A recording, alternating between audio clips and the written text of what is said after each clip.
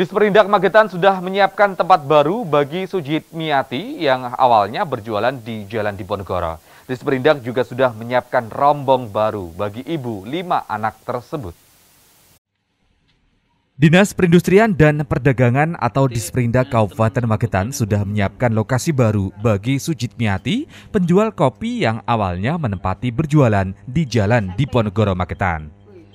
Kepala Disperindak Magetan Sucipto mengatakan, pihaknya bukan menggusur, hanya merelokasi karena yang bersangkutan berjualan di trotoar.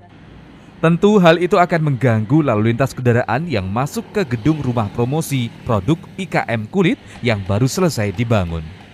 Disperindak sudah menyiapkan lokasi yang baru yang ada di sisi timur rumah promosi produk IKM tersebut.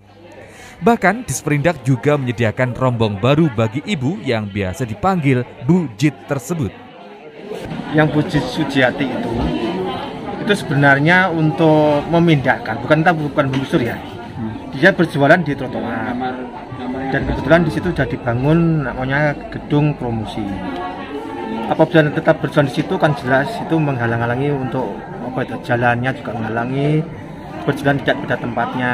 Dan sebenarnya sudah ada beberapa alternatif yang kita kasih solusinya. Dipindah di dekatnya TPS timur jalan. Kemarin sebenarnya awalnya sudah ada komunikasi. Dia awalnya nggak mau mulai ini sebenarnya apa ya sudah ada solusi dengan pemerintah. Kita nggak nggak langsung menggusur enggak kita menempatkan yang apa ya jangan di situ tempatnya gitu. Kita nggak ada unsur untuk menggusur nggak ada. Artinya direlokasi ke sebelah timur itu, timur jalan ada tempat di situ dan, dan kami dengan aparat yang lain sama desa aturan Jelosari sudah komunikasi nanti tempatkan di situ isu gak seperti diberitakan sebelumnya, Bu Sujit Miati sudah seminggu lebih tidak berjualan. Ia diminta mengemasi barang dagangannya dan semua peralatan berjualan beberapa waktu yang lalu.